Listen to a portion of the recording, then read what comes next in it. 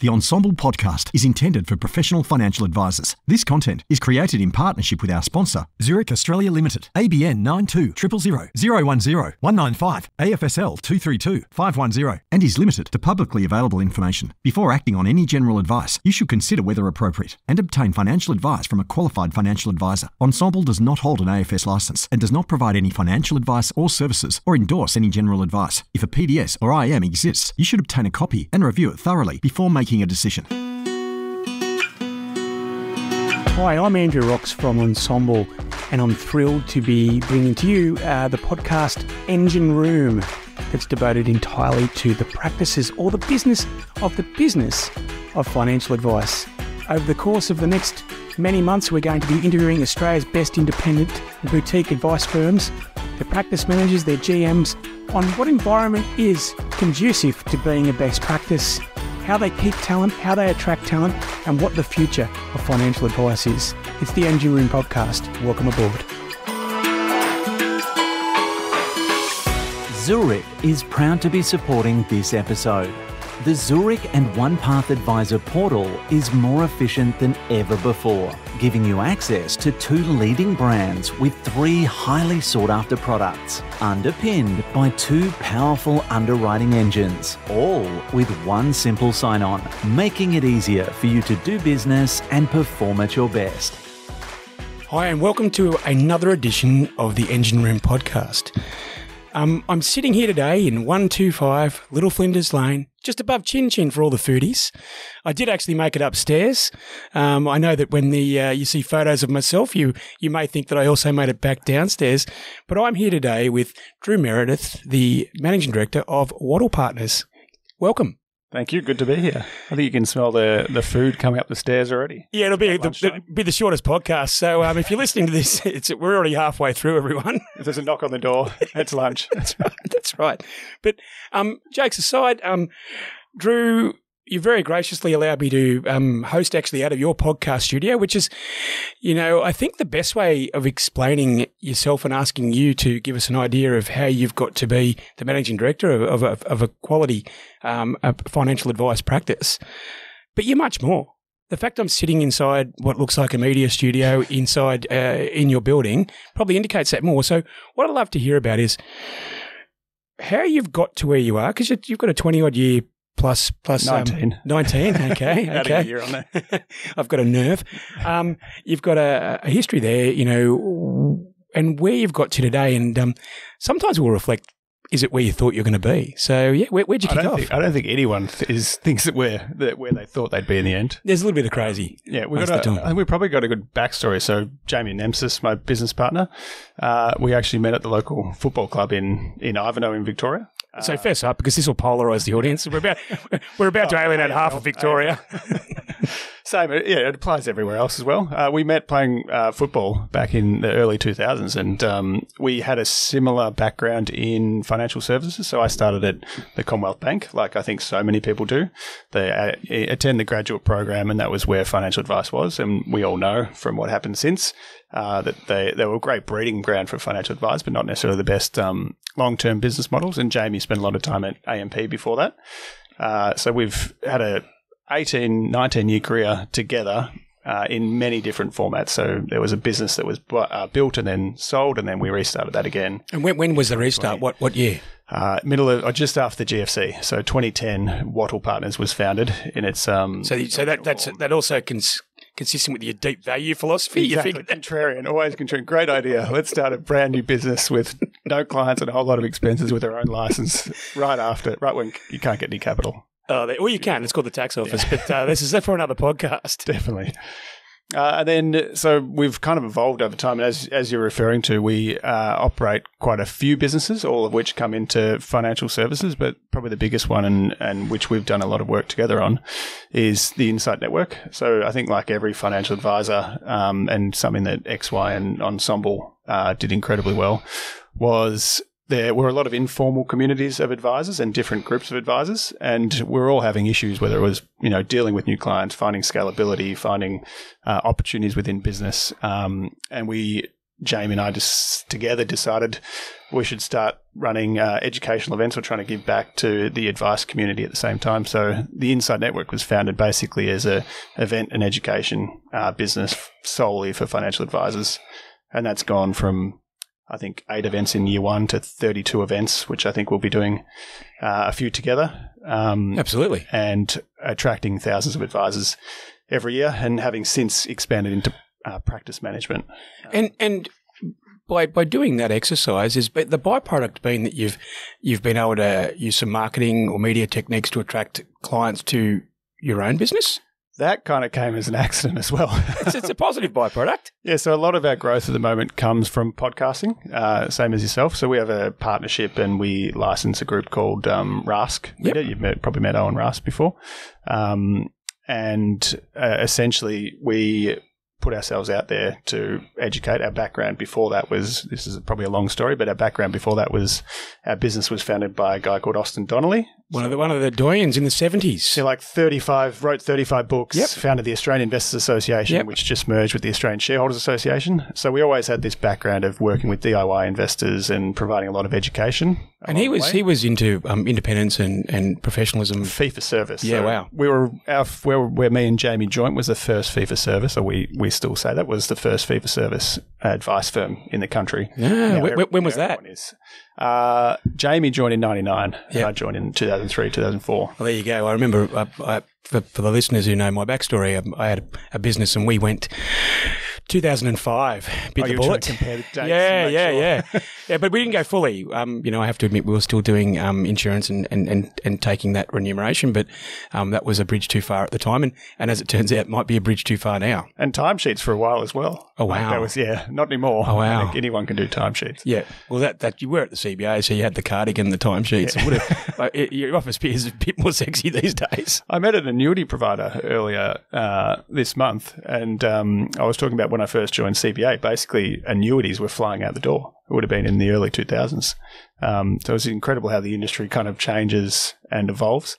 Well, we're not going to focus on government regulation, but the whims of the government and, and, and just the, the levers that they pull in their little chamber um, completely and utterly, uh, you know, in, predicates things like annuities. And it's, I think it's providing a tailwind for the advice industry, for better or worse, at the moment.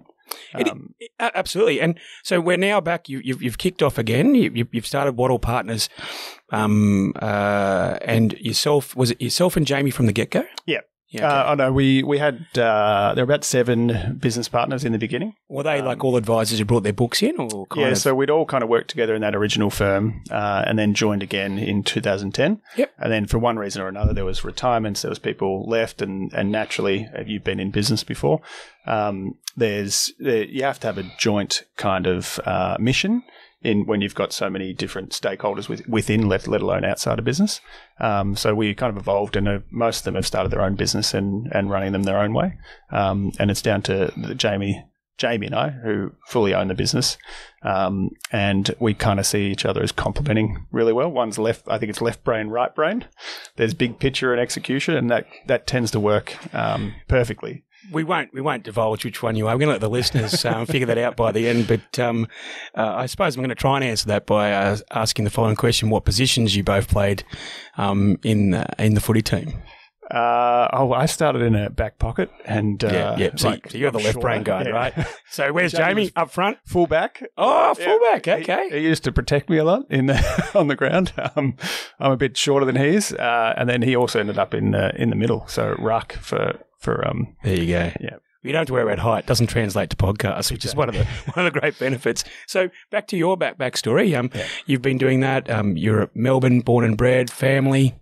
Yeah, yeah, doing uh, uh, so basically one of the probably the earlier you know, you know went to Bachelor of Commerce, did all the kind of normal studies, CPD, SMSF Association, um, worked through all those, had the kind of groundings, and you could see depending on what your background was, if you're if you're you know a true advisor back in the day, you could see the issues that were coming within the major banks. So I was actually unemployed for six months after spending a year and a half there because I couldn't keep doing the work that I was provided um, at my original employer. Then happened to stumble on uh, Jamie's business and other businesses, and then that just completely changed your mindset. It's like like the majority of advice businesses are now. They're the they're the way clients expect them to be run, and then the way you expect them to run. You know, it's transparent, it's upfront.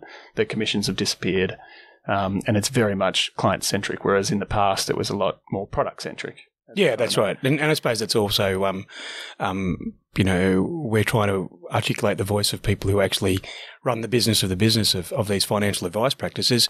One, you ha- you are an advisor. You started as an advisor. You've now worked your way to managing director, which is, you know, it's quite a well worn path. Started off doing paperwork. paperwork. So you started. So tell us about that. So what did you start off doing? Uh, I was a junior advisor to two uh, women within our original business back Yep. in 2003. So that was, you know, turning up to meetings, doing file notes, following up application forms, Customer closing advice trades. records, or Yeah. was it? Was I think that- Everything, uh, and extensive file notes. And our managing director then, Ian Murdoch, uh, was like there was dictated letters, like it was true, true old fashioned kind of financial planning advice. And it's just kind of uh, grown. I think changed over time, and I think it's a.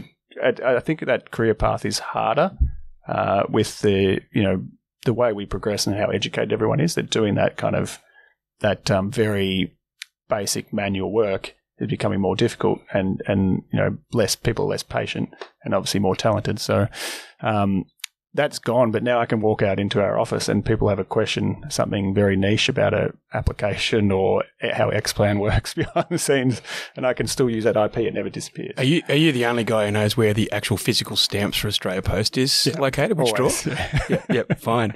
So, um, and you, when did you take the leap from being an advisor, so frontline advisor within this group, to more of a operational and then management and now leadership role? It probably kind of uh, gravitated over time because we run a uh, and own a few different businesses. So we we founded the Inside Network, Jamie and I together. Uh, he's he's spent a lot of time running events and on that side of the business, and naturally our time was pushed in different directions. So it probably just evolved over 2020 uh, as the as the pandemic hit Yep. to So, move up from the client servicing to, Yeah. to truly working out the direction, you know, having a look at where what our messaging is, the type of uh, people we want to attract, and you know who our core client was. So, kind of rethinking that um, on the fly. There was no kind of uh, formal process. It just kind of uh, evolved, like it, I think it does in a lot of planning businesses. well, you, it tends to be that the right people doing the right things at the right time sort of sort themselves out. Yeah. So, and that sounds like what you've done. and extracting yourself one of the hardest parts i think whether it's a practice manager or a md is extracting yourself from the day-to-day at, at some level um, which can be incredibly difficult Absolutely, and also um, sometimes it can be a bit of an ego hit. I've said this story before, but um, I was a lead advisor in my firm and made the decision to trans um, to, to transfer my my client base across to my advisors. And I was, you know, sort of losing sleep around would the clients take them up? You know, how long would it take? Um, and now I have nightmares over how quick it was and how and, and, and, and how much happier the clients are. our clients make us feel important that's the hardest part That's right. That's right. So, um, now, what Wattle Group today, um, uh, we're going to talk in a second a bit about you know the, the mechanics of it. Yeah. But we were talking off off air a minute ago, and um, you were just sort of rolling your eyes back, saying you've got so many uh, leads Yeah. coming in. Um, given where we are in the, the cycle, so we've we've we're about to hit some tailwinds. We've sort of hopefully we've had the, the end of the regulatory crunch. Um, where do you get them from? They come from uh, everywhere at the moment. We've had success in our partnership with uh, Rask Media. So Owen uh, and I co-host the Australian Investor podcast, but he has a series of four podcasts. So you're supplying content, people are becoming familiar with you and where you're from, and they do inbound, yeah? I think it's yeah. As a story, we get uh, you know inbound queries all the time, and then we naturally Yep. call every every single one that comes in. And I think it's a story which uh, Jamie talks about a lot, and we talk we, we stress this a lot with our team is that in financial advice, and advisors know it, that a lot of the uh, work is in having empathy and showing empathy and asking questions.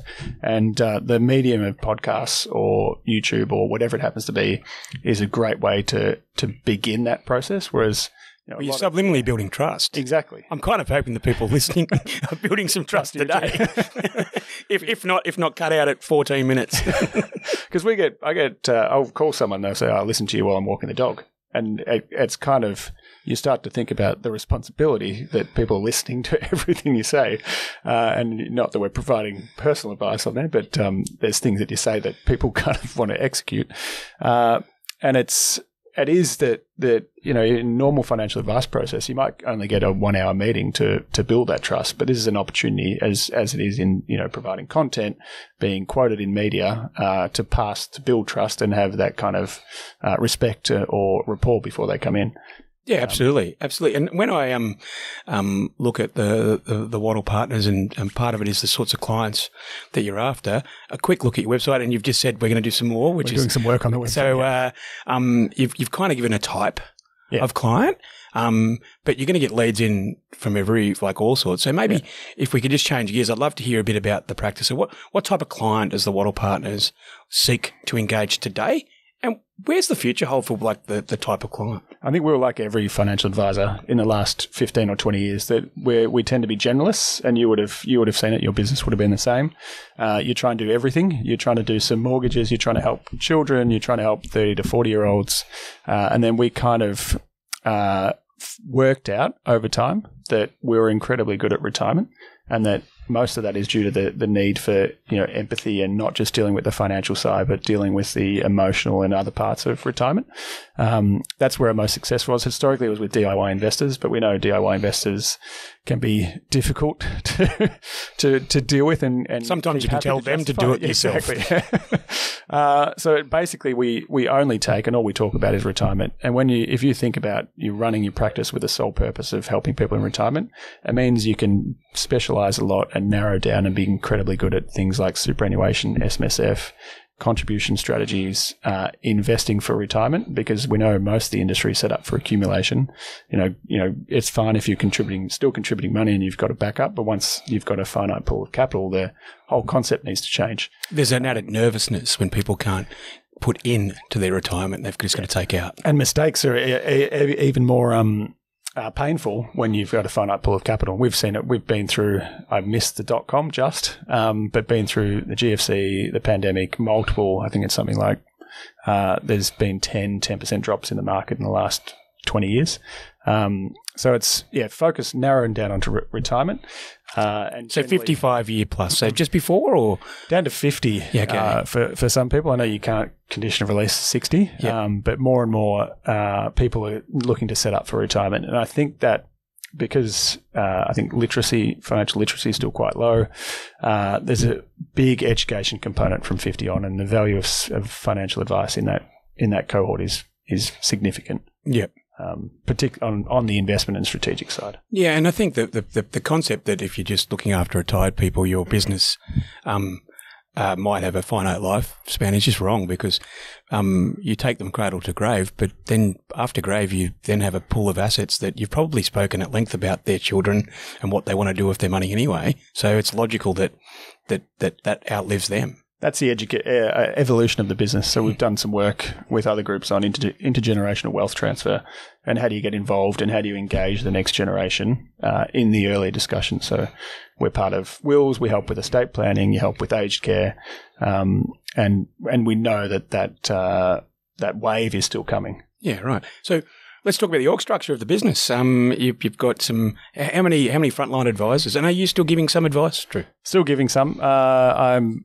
in every SOA presentation. So myself and Jamie are the principals and, and owners of the business, uh, and we're financial advisors. So we do a lot of the uh, you know upfront client client conversations, client calls, initial meetings, uh, and most SOA presentations. Um, and then we've got uh, two financial advisors. We've, I think we've doubled our team in the last twelve months. Uh, so two financial advisors uh, joined us. We've taken an in-house or got an in-house paraplanner. We have uh, kind of a COO um, or uh, a, like a on the tools um, COO, as well as an administration team of about four, plus accounts like a CFO, but they work across each of our businesses. Uh, and the help of a PR team at the same time, an events team to run all the events that uh, we run each year. Yeah, right. So uh, they're separate businesses. So I think we're about 13. Okay. Okay. So um, I'll come back to the question of, of how yourself and Jamie can manage your time with, with, with being a, a frontline advisor and I'll give you the simple answer. go for it. Good people. Good people. It's trusted. Yeah. Trusted people.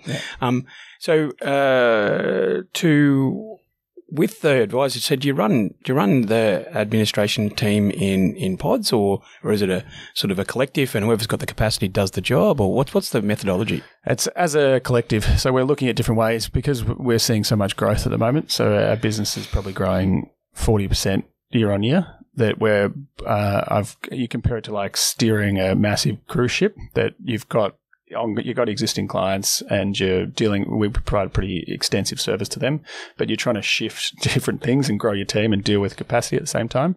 Uh, so it's a, it's a collective. Uh, we have a um, in-house manager and then three off, you know, outsourced staff that, um, essentially report directly to her. Yep. But we don't think we've got the perfect solution. And I know you would have seen multiple different types. We're trying something that we think works for us. Well, there's nothing perfect forever. Uh, there's a point in time.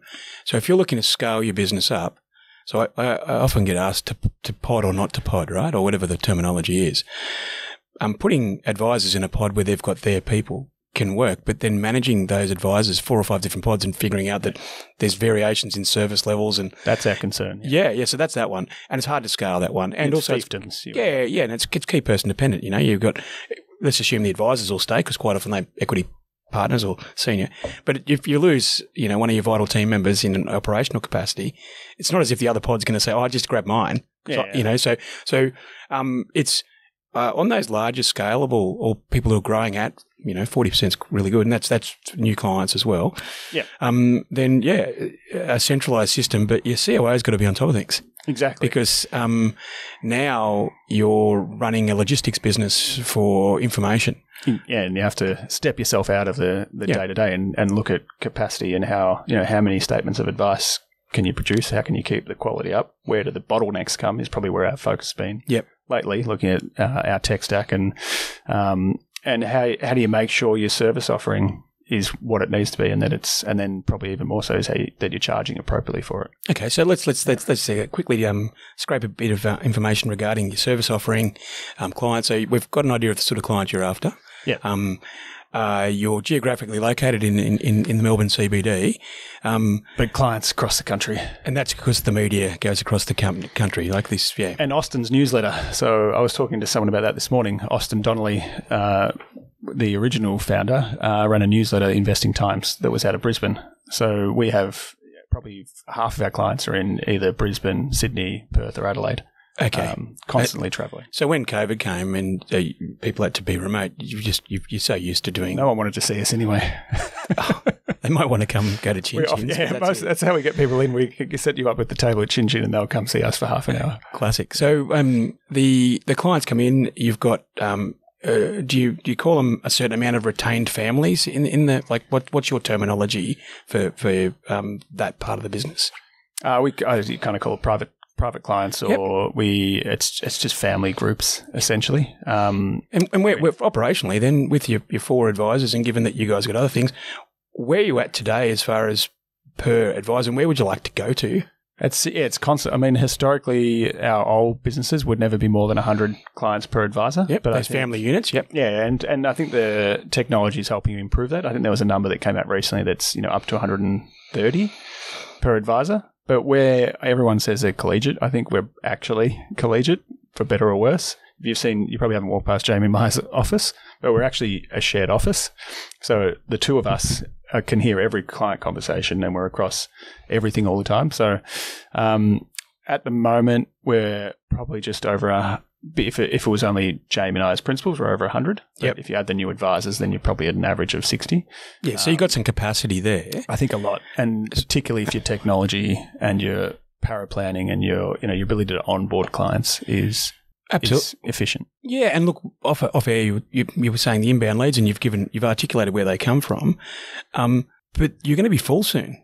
So, are you in the market for um, uh, new advisors, or, or, or what's what's like?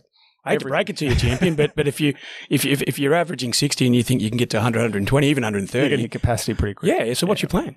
Uh, I mean, we see owning, we, we own retirement and we're very clear on owning retirement. And because of our client base across the country, we see an opportunity to have an advisor in, in every state Uh, Okay, so ge- ge- next five years. geographical, you don't mind. You're agnostic. Yep, yeah, Yep. exactly. And I mean, I'd love to not have to travel as often to some states, uh, but I think we've got you know with our relationship and the business we own in Atchison, uh, and the branding and our, our story and our mission and being incredibly clear in what we do. I think it uh, it fits, and there's a place for it in the market. So I mean, we'd love to be adding new advisors, um, and we kind of our model is very much a, a principal um, and senior advisor model and, a, and kind of a team atmosphere. So if you're listening and you're in Brisbane, hint, hint, and you'd like to take Jamie's Chairman's Lounge um, uh, membership off him for Qantas, he's happy to give it. Happy to give it up. Yeah. Happy to give it up. Um, you touched on something there with with Atchison, and, and I'd like to maybe just ask, you know, given you're in retirement, investments is part of it. I mean, this is this podcast is not per se about investments, but be remiss of me not to get you to highlight what you do because you're that passionate about it that you guys have actually moved and and, and sort of also deep into asset allocation. But I'll let you take over. So, what's what's your philosophy on the investment side? How do clients end up getting their money invested? Yeah, I get in trouble a lot because I went on stage for a few of these, you know, podcast events and said we were proudly boring. Um, not that we're overly conservative. Oh, oh mate, the, the people listening, they're voting. yeah. yeah, yeah. So, so if, if they're st- if you're that boring, they're probably not They'll still be listening. these- yeah. so, But uh, in in investments and in retirement, you don't want to be taking big swings. You don't want to be following momentum, and you want to be aware of uncompensated risks, if for you know, for uh, lack of a better word, in in portfolios. So the amount of people that come in that have done it themselves, that's where a lot of clients come from. They had an advisor, they didn't like it, or they tried to do it themselves. And they're so exposed to different things they're not even aware of. Um, ours is about how do you build resilience into a portfolio, and it's and I think it's where advice is going, and it's why ETFs have been so popular. Which is asset allocation is incredibly important. Tactical tactical asset allocation is is important, and then acknowledging what risks lie within there, but also knowing that you don't need to get the twenty percent returns every year. That if you can actually deliver consistently, you know, eight to eleven percent, and not be exposed to the vagaries that happen in the pandemic, and not be forced to make you know bad and emotional decisions, um, or, or reduce the emotion that comes during those periods for clients. So we only got, I think, one phone call to sell during the pandemic, uh, and I think part of that was Dan because- Andrews is a client, is that right? yeah, exactly. I, I actually don't know. If he is, I apologise. No, we'll cut that out. Okay. So, um, um, Politi- no politically exposed people. That's Okay. the, that's the one there. okay. But but in, in saying that, um, you know, do you use? You, I know you've got M- SMAs. uh, Do you have an MDA? Because being able to be adaptive is wonderful rhetorically, but Yeah. being able to then turn around and actually execute on those in a timely fashion is another thing. Uh, Is that how do you operate with those? Yeah, I think, and it's important to have options for, for clients, and that's the way we've built uh, our business. Historically, we're 100% tailored, and we'd execute everything, you know, CommSec, all that sort of thing. Uh, including non-custodial stuff? Are you guys sort of yeah, so some on a lot of off-platform uh, and a and a combination, and and I mean most of our clients, you know, two to ten million. So we're not talking about the ultra high net worth. Um, so very and still retail clients. Uh, we partnered with or we purchased uh, Atchison Consultants. So we acquired an asset consulting business. Which That's is- putting your money. That's like the, the the Oral B ad, you know. I like the. Well, no, was it the Gillette ad? You know, whatever it is, you put your money where your mouth is. yeah, exactly. When was it that? what year was that? Uh, three years ago. Okay. So there's some, and you you, you find out how uh, maybe uneducated uh, on or how much knowledge, more knowledge other people have. Maybe that's a better way to put it. um, when you talk to an asset consultant or deep analysts that have worked in financial services and investments for a long period of time. So um, we're always uh, tailored, and now with Atchison, we've built a series of SMAs that are tailored to our clients. Um, the they they range, and I think this is going to be important. They range from risk profile models. So, as you expect, we do the entire SAA to uh, individual asset car, asset class sleeves. So, we still have the opportunity if a client wants more alternatives, we can buy an alternatives like a liquid alternative sleeve via Yep. a platform, uh, and it's we've got the flexibility and the and the optionality for clients to build different portfolios and to have control over the SAA or TA if they want to. Um, wonderful. So not outsourcing completely. And um, uh, commercially, was there sort of platforms or partners that that one, well, you either work with now, or, or two that you think are doing a good job? Yeah, I think uh, we're working with Pete Warren. I'm sure you've interviewed Pete uh, from Finura. Yep. um, who's helping us rebuild our tech stack on the fly.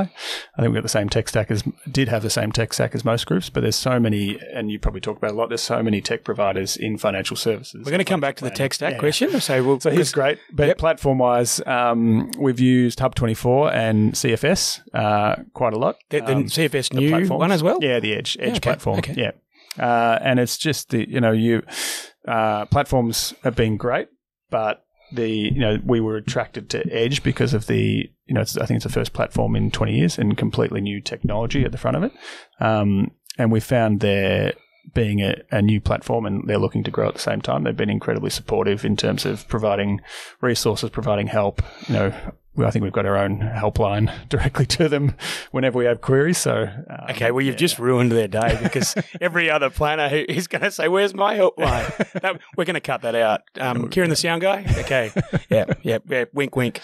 That's all good. Uh, I mean, they're yeah, incredibly good to work with. Um, and naturally, we use. Uh, we're not we're not doing tech stack, but um, We are. No, we're, we're, we're parlaying to tech stack now because because you, you, you inferred that because you know we're looking at the engine room and technology is part of the engine. So what does Wattle Partners use to deliver those? Considering. And also, I wouldn't mind just your CRM because you've got a few of the other businesses, and, and there might be some commonality of lead gen and whatnot. Be, be interesting to see where you're going with that as well. Yeah, so historically our tech stack was the same as everyone. We had Xplan, like 65% of financial advisors, and a few random things trying to plug into it.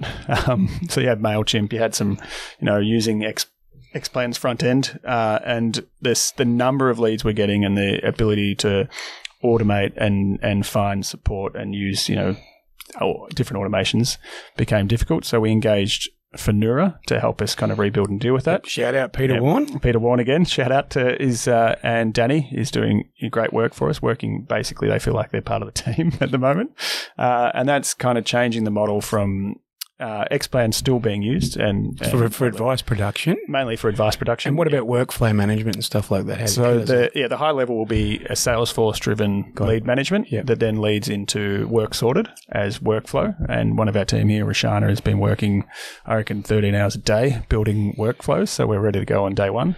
And then My Prosperity is the client facing. Um, which is owned by Hub24, isn't it? Yep. Uh, as the client facing part, and I think that's where most, or where we've definitely struggled, is is understanding the client experience on the other end because the the Xplan login's okay, but there's so you know what people are expecting, what they've seen from their banks or their brokers is very different to what financial planners have generally been able to offer yeah. without going custom. So understanding that and thinking about that client experience has been a big part of what we're we've we've invested in and worked on. Well, it's been a blind spot, right? Yeah. So, um, uh, I think the there was a transaction. I think Hub, but yeah, they did they did purchase. I can't remember if it was year, last year, the year before, and I think there was a collective kind of um, happiness that there's a, a, a, a- there's a there's there's a there's a, big a, big dog with a with a, with with ca- capital that can actually fulfil those just unmet expectations of both the advice industry and the clients. So we saw so many come in, uh, And they've- and they've all been- because it's hard They've all been good, right? They, they've Yeah. all, their intents all been great. It's just cost a lot of money. Yeah. And it, it's, it's obviously not help when, um, you know, every three months, um, the government changes a little nuance in Canberra and you've got to go back to coding. Yeah, we went to the Future Proof event. I'm not sure if you saw that last year, and the amount of kind of client facing that that whole conference was basically client experience. How do you how do you niche your client, and how do you service them and make sure you know they feel loved all the time and and contacted, and the automations and the outsourced investments available in the US is just different scale. Um, and I think my prosperity is probably the standout here that we've seen so far. Oh, shout out. We, uh, we probably don't even need to put that in the links, but we're, we're going to add a few uh, links there. And um, I might even put a, a bit about Austin Donnelly as well, because um, you know it's, people should actually, who are in financial advice in 2024, um, need to really pay homage to people who did things at the times that, that were that have driven the professionalism of, of the industry. Yeah, definitely. And um, yeah, we can link to his 35 books probably he's um, come up with. We just published our own. Kieran just sure if you know fainted. Just yeah. give us a sec, everyone. Uh, 35 sh- links in the show notes. Yeah.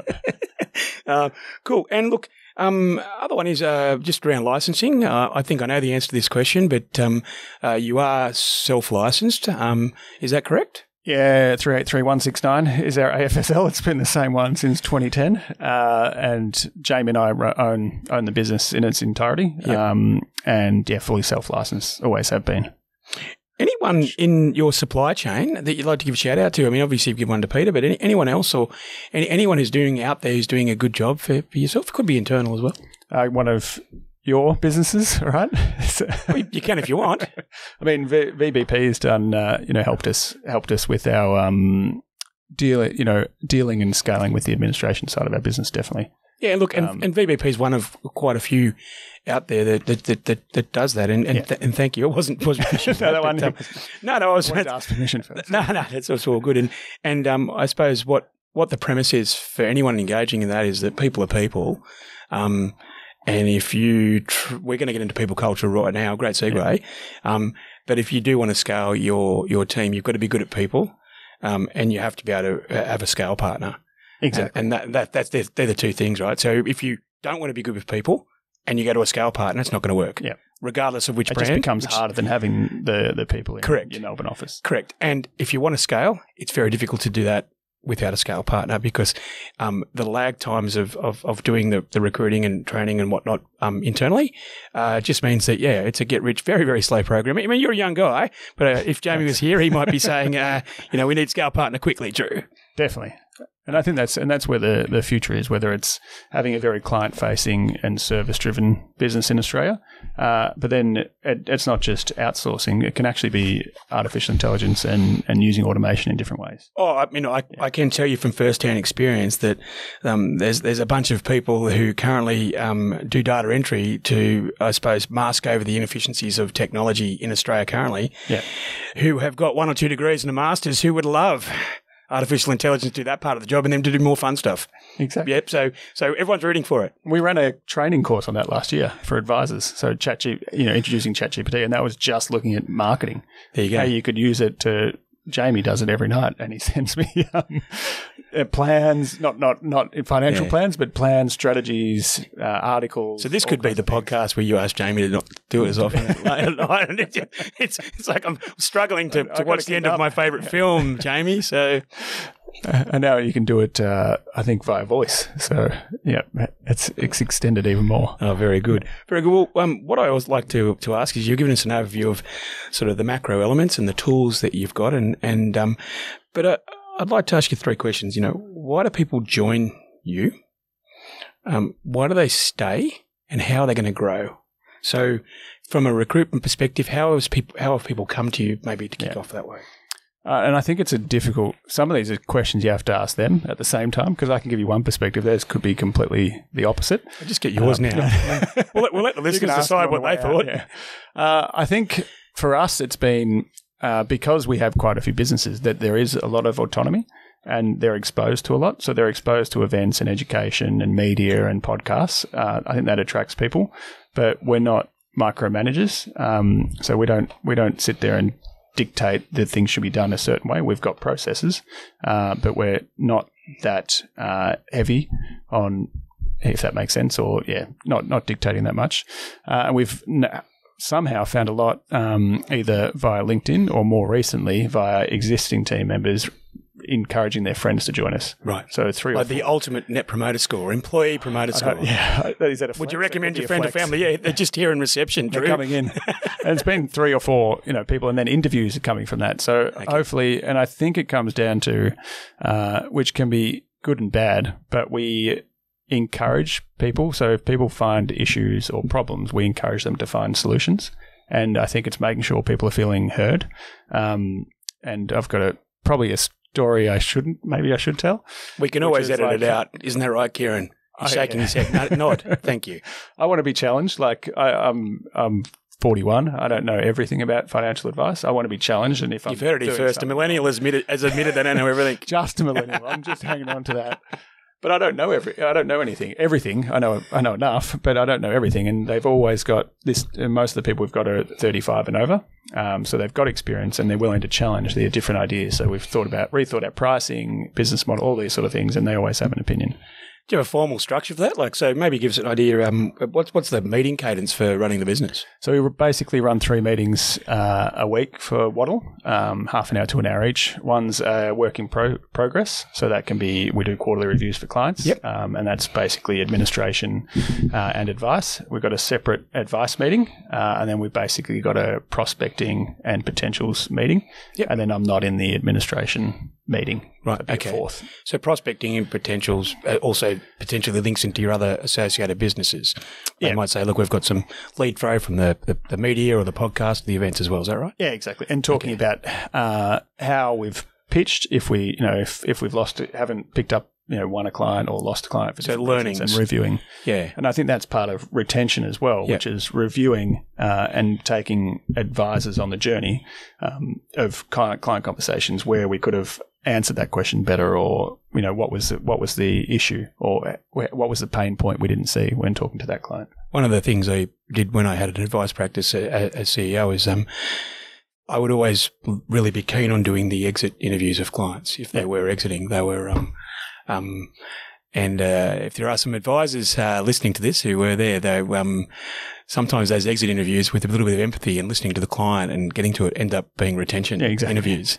So Most um, of our exits are in a, I won't say what they're in, but um, are actually by, you know, the client dies. So, and, and it's more about whether you miss a. It's probably a, probably a black comedy term for that, mate. I think was they say in a coffin. in, in trustee. Well, I think they call it the falling off rate or something like that. The, so um, yeah.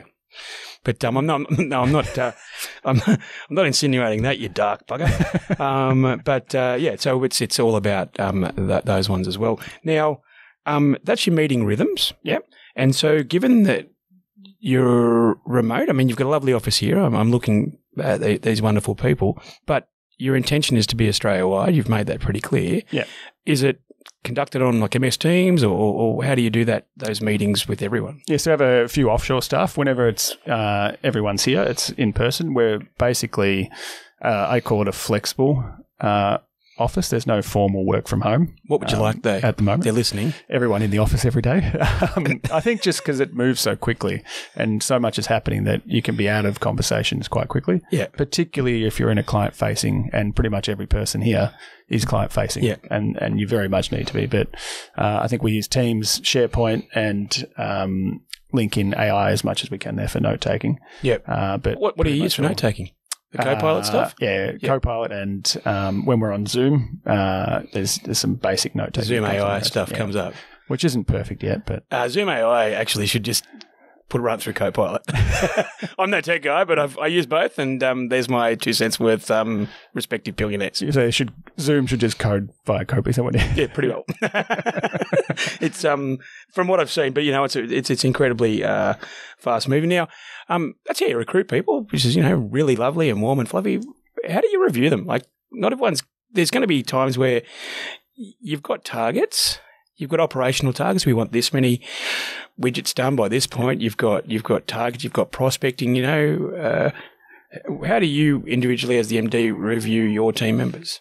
Uh, we just go as open as possible. We we have six monthly kind of less formal reviews plus a really formal uh, twelve monthly review. Do you have a structure for the tw- like? Do you use any third party structures or philosophies? Yeah, we've got a self. Uh, I don't think it's called a 360. I can't remember exactly what it is. Yeah, a lot of them, lot of them go by that. Yep. Yeah, so you get your managed, your, your your staff member reviews themselves, one to five scale for Got a number of things, innovation, where their biggest issues are. Their manager uh, reviews that, and Yep. then it comes to us, um, and we kind of make an assessment and build smart goals around that every twelve months. Uh, Well, they're your biggest cost and by far your biggest asset. exactly. So failure Yeah. to take a check and balance is is on you. and and and they no they need they kind of want reviews and they need reviews uh, particularly when when they have a lot of autonomy now am i in the right direction how do i make what is my role you know your roles change everything evolves quickly so um, i think formal reviews are incredibly important Absolutely. You mentioned earlier that um, yourself and Jamie are sort of uh, different ends of the, the, the spectrum as far as um, left brain, right brain, and whatnot, um, which I love. I'm a big fan of, um, you know, whether it be uh, DISC or, or, or HBDI or whatnot. Do you implement any of that with your team? Do you any psych profiles with, with the team? Not not yet, but uh, I, I think we try and read them and uh, adjust policies and processes to you know I know people in our team have similar um, seem similar to me. So how do I how do I make you know how to learn from my struggles in getting beyond you know the detail or and and teach them how to how to evolve. So it's almost more personal coaching Okay. um, and direction rather than uh, psych profiling. But I think as as we grow, it's going to be increasingly important. No worries. And, and um, when when you guys succeed, so say you do have a cracking quarter or, or a month or whatnot, how do you celebrate? What's what's what's fun look like in this place? When there's high fives, constant high fives, uh, when a you know a proposal or a, and I think it, it's incredibly important to. So just to clarify, that's that's not part of the, yeah. the new cannabis sort of regime. It's uh, it's the It's physical, physical old school. high fi- five. yeah, yeah, yeah. I'm, I'm old school when it comes to that. uh, I mean, we've got five, you know, five businesses in house. Yep. So one of the big things we do across those businesses is a monthly town hall, and in each of those months, we highlight someone who's you know instilled the Awesome. values of our of our businesses uh, incredibly well. So it's and making sure you're calling out the wins because you know when you when you do so much as as Jamie and I do, you you tend to focus on what's not working more so, and you've probably done the same. But you need to celebrate the wins and and how how well you're doing and how uh, team members are improving and evolving. Um, and then we own a share in a and uh, two bars in Melbourne, um, which you may not be aware of. But um, Kieran, we're in. yeah, we're we, in. We set up uh, tables. Uh, okay, well, links, events, links. yeah. First up, which ones? Which ones? Uh, beneath Driver Lane. So it's a, a basement bar as it is down a laneway in Melbourne. And then there's upstairs a bar called Torino, which is more of uh, Aperols and, and Negronis. But um, it's not all alcohol based celebrations, but there's all kinds of. Uh, unfortunately, we had our, our CFO passed away two or three years ago. And we have a memorial day where we take our whole team out. And he was loved badminton, so we go and play badminton once a year. Invite his family to join us and kind of uh, remember him. But having and not not always having alcohol driven parties, which I think can be the case, but But sometimes it's just different. um, curating just a different environment, right? Yeah, exactly. you know, it's uh, uh, whenever you're in in your office with those computer screens, Yeah. it sort of always feels like work. and encouraging each team and members within those team to put something forward that, that was positive in that week during, you know, it's a, usually a monthly birthday catch up. Yep. I think is important. So you've got the weekly uh, town halls. Um, you've got so do you, do you have a so yourself and Jamie owners? Do you run like a, a um like how do you get reporting from each one of these five businesses? Because because you're so busy, like does do you have do they you expect them to give you a report every month or or how does the the sort of you know uh, that information get to you guys? Uh, so we'll have there's a managing director of two of the other businesses Yep. as well, um, and we have an exec meeting. Uh, I think an hour once a week Okay, where we so that's cover off that Very really co- high very level. co- okay. Yeah, and uh, we have the same CFO across the businesses, which makes you know you know that No one can tell fibs. Reporting. No one can tell fibs. No one likes that. that is it Clear a guy or a girl? Guy. No one likes that guy in the meeting, right? it's like we're thinking of spend. Oh no! oh no! But that's you know the financial part's in, incredibly easy, and then it's relying on you know we have a fairly good structure in terms of having a senior, whether you call it an account director or Yep. a CEO type in each business. And they're accountable. Yeah. They're accountable, and you guys are responsible at the director level. Yeah, exactly. gotcha, gotcha.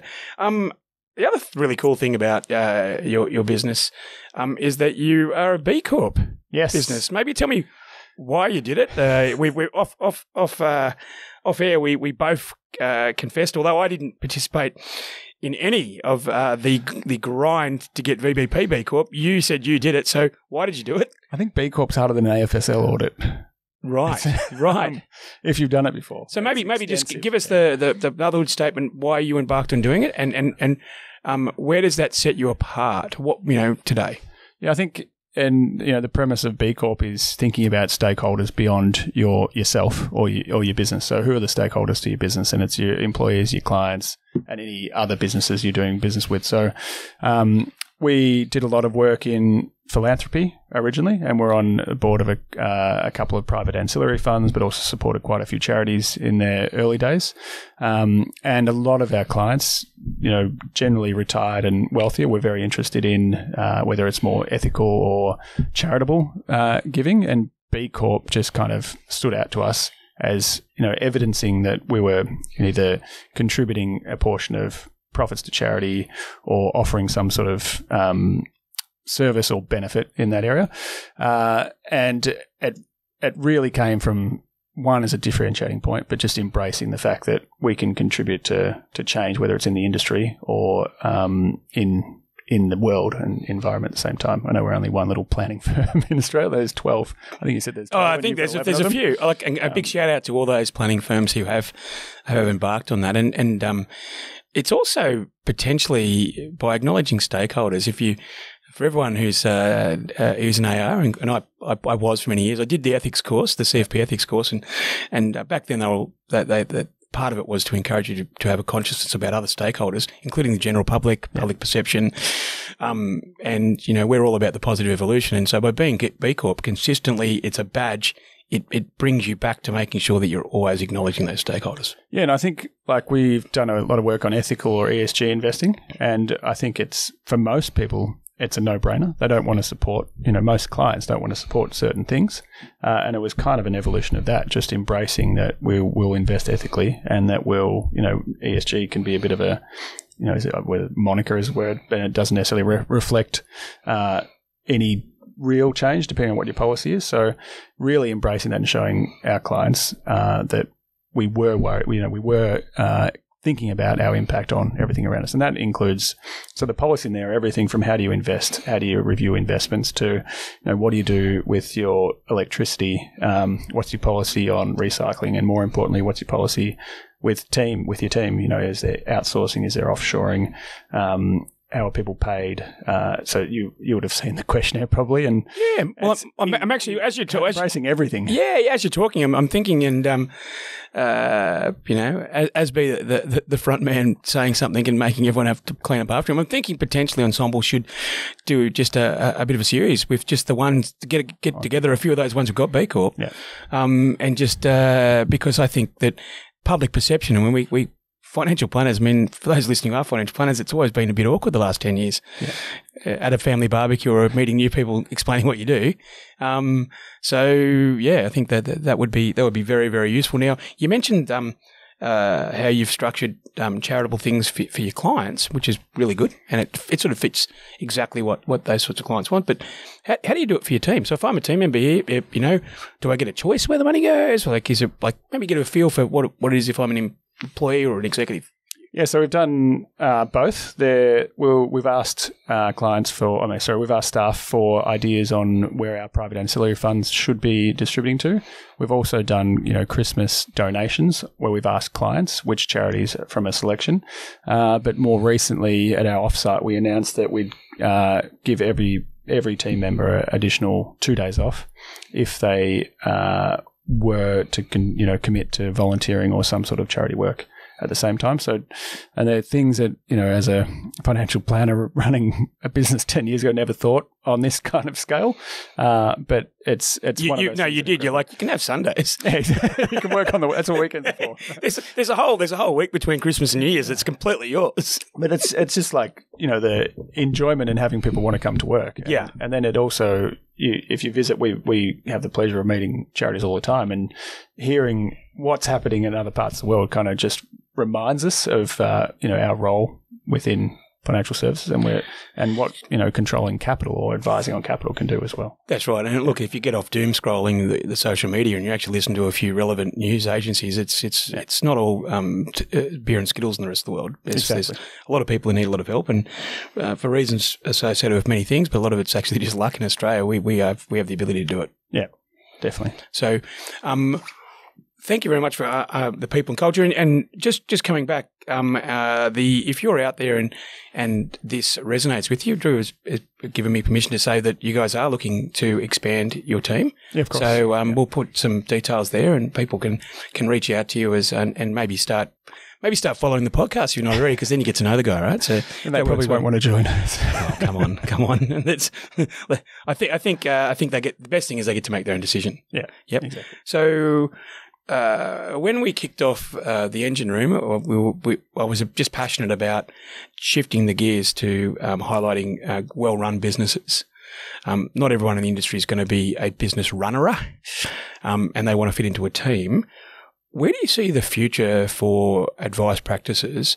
Given you've had 19.9 years experience, um, And uh, in the context of, do you think they're going to get all big like accounting firms? Do you think hyper specialization is a possibility? Where do you see it? I think from from what we're doing, that specialization is is going to be incredibly important. But I think I can see a smaller group of larger businesses, whether that's through kind of external funding and bring them together, but smaller groups of say five to ten billion dollar practices in Melbourne and Sydney, eight to ten will will I think start to kind of dominate, and probably more from our backgrounds. You know, the you know these retail client businesses rather than the the big old kind of investment bank um, approaches. Not that there's you know both those businesses work, um, but I, that's where I think I see the future going. Um, and I think we've got a model that works, which is this kind of principal advisor model. But um, and the specialization, right? Let's let's and retirement because yeah. jack of all trades is another way of just saying lower EBIT. Yeah, exactly. and that's where you need every you need to add more heads to deal with more clients, whereas you can't find efficiencies if you're trying to do everything at the same time. Um, and I think it is very much niche. We talk to other financial advisors, and they're all about finding is it legacy planning. Who you really need to define your client, and I think it, it and um, the US has been incredibly good at it. It could be over there they niche to I only deal with executives from a company.